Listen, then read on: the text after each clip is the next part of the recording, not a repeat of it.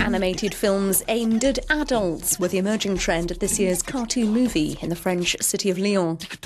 The Forum for Makers and Buyers of Animated Movies showcased 55 films to about 700 industry professionals. Typical of the wave of grown up films is the award winning Spanish movie Wrinkles. Muy bien, genial. Así me gusta, chicos.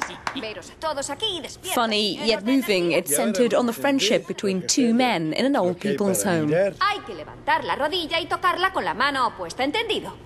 Mirad para aquí, como hago yo. De esta forma, ¿veis? Así. Muy bien, como yo estoy ¿Qué haciendo. dice? Así. ¿Qué hay que hacer? ¡Hable más alto! A ¿Qué ver, dice? ¿Qué hay que hacer? Hay que tocar la rodilla con la mano ¡Ay, del otro. matita estás, hermosa mía!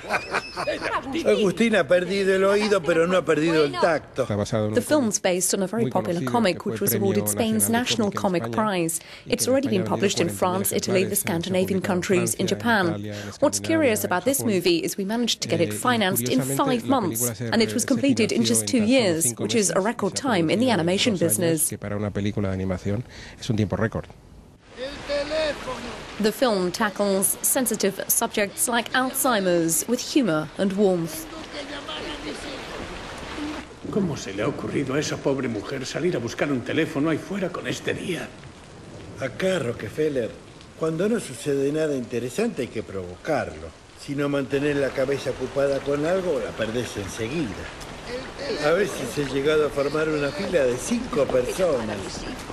Pese a la última, la viejita del paraguas, es Carmiña. Nunca está sola, porque tiene miedo a que se la vengan a llevar los marcianos.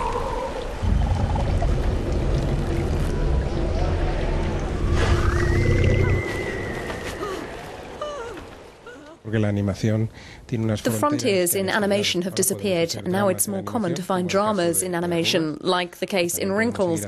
And at the same time, we can familiar, que es muy continue to do family films, which are always very popular, or stop motion adventure movies. Animation has more options and possibilities now.